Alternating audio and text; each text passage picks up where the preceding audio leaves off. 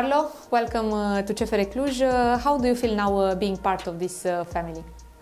I feel amazing and I'm happy that I got this opportunity to come to such a big club in Romania and I will give my best to make the fans happy and the team.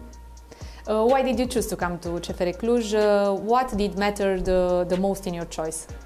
Uh, their history, of course, uh, and also last five years they was champion and they always fight for uh, Europe, and this was like big motivation to me. What did you hear about uh, the team before coming here?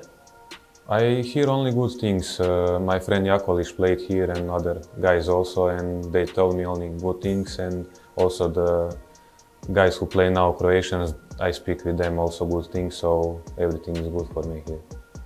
How would you describe yourself uh, as a football player? Which are your, uh, your qualities? I would say that I'm a team player. I like to fight for the team. Uh, I always try my best, and uh, that's it.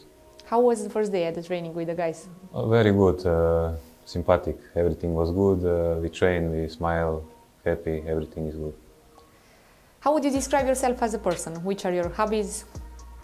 Uh, I like to walk with my dog. I have a small dog. Uh, with my wife also.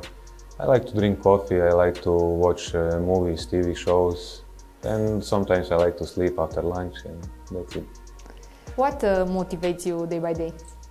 Uh, I always uh, push for more. I'm a person like this who always try to achieve more. I'm not uh, satisfied just to stay in one place. I always try to achieve more in life. Do you have a model in football? Uh, for me it was Gareth Bale, but when he play my position now, he's winger, but uh, he, Roberto Carlos also from Real Madrid.